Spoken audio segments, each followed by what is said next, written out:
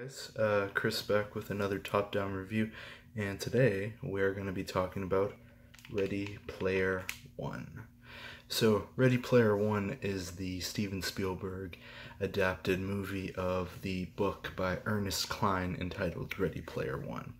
Follows this kid named Wade Watts who ends up uh, venturing in this uh, virtual reality type uh, gaming network called the Oasis, which virtually everyone basically plays. And in his adventures, he basically gathers this uh, group that he familiarizes himself with, which includes, I think his name is D, and um, the two samurai dudes, and eventually Artemis, who's this other high ranking, really intelligent character within the world. Yeah. Who's a girl. But um basically the whole point of this movie is that this guy who created this system called the Oasis basically hid these three keys in the virtual game world and when you unlock all three of these keys you basically get this trillion dollar fortune as well as basically access to running the whole gaming network. And so everyone is basically trying to find this thing. So, one thing off the bat that I have to give this movie credit for is the freaking references that this movie gives out. A lot of references. And I have to say, even if you don't play video games, and even if you are not a super movie fan, I doubt there is not one reference in here that you can't just pull out at one point or another. I mean, it is amazing how many references are in this movie. I mean, I believe Spielberg said that this is his third hardest movie to make, I believe, and I can definitely see why. Just getting the rights to some of this stuff and putting them in the movie must have been just like hell to do, but at the same time, it must have been fun at the same time just to put out there. But yeah, I mean, the references are like all out there and they're recent and they're today, and then there's lots of 80s pop culture in there, as well as like other stuff scattered from video games and movies and stuff like that, especially with Alan Silvestri doing the the music or whatever basically um, there's this one scene i really love where um, the main character wade watts he gets a cube called the zemeckis cube and he throws it and basically time goes back uh, 10 seconds and everything. And i love it because the back to the future theme is like sprinkled throughout the movie. And you know it's amazing you know him doing the music and for that movie and him also doing the music for this movie is uh, amazing, and I loved it, and love that. Um, the characters were great. Um, I loved Artemis. I loved the villain that Ben Mendels, uh, Ben Mendelsohn played. Um, Noah Nolan no, Nolan C. I forget his last name. It's Nolan something, but played. Um, he did great. Um, Tye Sheridan, who played uh, Wade Watts, and um, Parzival did great.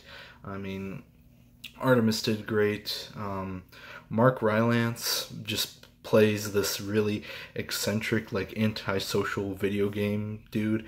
So um, I don't know, he plays it very well considering how he's played other people. It, it, was an interesting role to see him in. So I just I, I was fascinated by how he played it off. Um, Simon Pegg is also in this movie for some reason. He's not really in it a lot. I thought he was gonna have a bigger role in it, but in the few scenes that he was in, he was all right. But I mean, it could have really been anyone. It didn't have to be Simon Pegg at all. Not to say that Simon Pegg is a bad actor, but I mean, it could have really been anyone considering the few amount of scenes he was in. Um, if I really had only one gripe about the movie, it was just um, they have like a group um, Wade Watts has like his friend that's in the video game, and then he meets Artemis, and it's like the three of them. And then there's like two other players who are like vaguely mentioned at one point throughout the story, and after that, it's like they kind of join in their like little crusade, and after that, it's just like, okay, where did you guys come from? Who are you? And why did we not find out more about you? It's like they're offhandedly mentioned one other time in the movie, and if you do not pay attention during that one time, then you miss it, and then they just show up at one point and then just join them and just like, okay, well, I guess you guys are a part of this now too. But other than that, I mean, the character development for the other three characters was great. The story was great. The pop culture was great. I mean, I was jamming. I was enjoying every moment of the movie, and I would definitely recommend anyone that's a huge gamer in general to go and see this movie if you haven't already, which I'm assuming you have, obviously. But yeah, I mean, I I enjoyed this movie a lot more than I expected it to. I mean, I knew I was gonna have a good time. I just didn't expect to have that that great of a time at the movie. Um, but I will definitely be uh, buying this movie on Blu-ray Steelbook when it comes out for sure, no question. Um, but let me know what you guys thought about Ready Player One. Um, as far as upcoming reviews are concerned, I will be seeing Rampage next week, so expect a review on that. Um, obviously, um, Walking Dead wraps with its penultimate episode, not this week, but next week, so I will be doing two reviews for that.